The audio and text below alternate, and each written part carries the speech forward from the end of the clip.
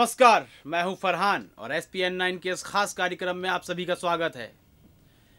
भारत बचाओ रैली, भारत बचाओ आंदोलन भी कह सकते हैं। अभी एक आंदोलन का रूप लेता जा रहा है।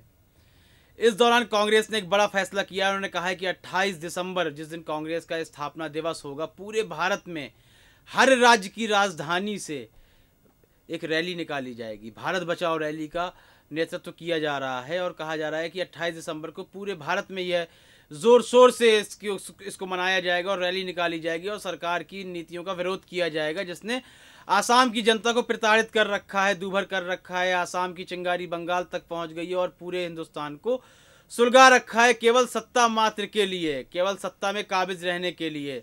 केसु वेणुगोपालन है, कांग्रेस के महासचिव हैं। उन्होंने कहा है कि जिस तरह भारत बचाओ रैली की सफलता हुई है दिल्ली में, सफलता के बाद सफल हुई है रैली या सफल नहीं हुई है तो हमें नहीं पता ये केसी वेणुगोपालन कह रहे हैं। और रैली की सफलता वह किसे मानते हैं, अभी मुझे यह समझ में नहीं आ रहा है। क्या रैली का पूरा हो जाना, सुबह से शाम तक कोई विरोध ना होना, उसको बीच में बंद ना करवाया जाना, यदि यह सफलता है तो अभी रैली आपकी सफल नहीं हुई है। रैली आपकी तब सफल होगी जब आसाम की जनता को न्याय मिल जाएगा। जब एनआरसी और नागरिकता संशोधन विधेयक जैसे कानून से निजात पा जाएगी जनता, जिसके विरोध में खड़ी हुई है, प्रदर्शन हो रहे हैं, चाहे वह जामिया हो, मद्रास हो, लखनऊ हो ए हो, पूरे भारत भर में भी प्रदर्शन चल रहे हैं। हिंसाएँ भी हो रही हैं।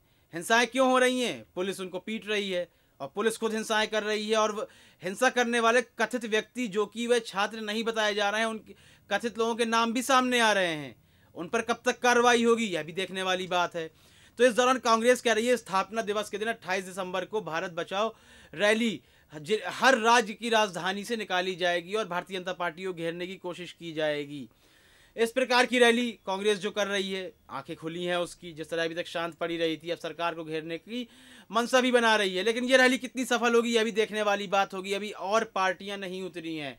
समाजवादी पार्टी के भी शीर्ष नेता ज़मीन पर नहीं उतरे हैं। जिस तरह कांग्रेस के सभी शीर्ष नेता दिल्ली के रामलीला मैदान पर मौजूद हुए थे। लाखों प्रदर्शनकारी कार्यकर्ता वहाँ मौजूद हुए थे। वहाँ पर आवश्यकता थी कि विपक्ष के हर नेता को पहुँचना चाहिए था। वहाँ पर आवश्यकता थी कि विपक्ष के जितने भी नेता थे, चाहे वह कांग्रेस के साथ गठबंधन में हो या ना हो, उन्हें वहाँ मौजूद होकर इस नीति का विरोध करना चाहिए था। वह नीति फिर सामने आ गई, जिस तरह इमरजेंसी के दौरान सारा विपक्ष एक हो गया था कांग्रेस के खिलाफ।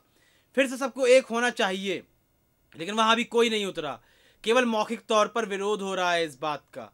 ज़मीन पे उतरने की अभी आवश्यकता महसूस नहीं हुई है और पार्टियों को, और दलों को। पप्पू यादव ने कोशिश करी, देखिए, हिरासत में ले लिए गए। तो अभी और कितने लोगों को हिरासत में जाना है, क्या हिरासत में जाने से डर रहे हैं, या फिर मौखिक बयान देकर विपक्ष के भी, जनता के भी अच्छे बने रहना चाहते हैं और भारतीय जनता पार्टी से भी किसी प्रकार की तकरार नहीं करना चाहते हैं शायद विपक्षी दल। यह बातें सामने आ रही हैं। इस संबंध में आपकी क्या राय है? आपकी राय महत्वपूर्ण है। इस संबंध में हमें बताएँ कि क्या विपक्ष के विपक्ष के भी साथ बने रहना चाहते हैं नेता? और भारतीय जनता पार्टी से भी तकरार नहीं करना चाहते हैं? आपकी राय अवश्य दे। कार्यक्रम पसंद आ रहा है तो लाइक करें, ज़्यादा से ज़्यादा शेयर करें और चैनल को सब्सक्राइब करना बिल्कुल भी ना भूलें। तब तक के लिए इजाज़त चाहूँगा। नमस्कार।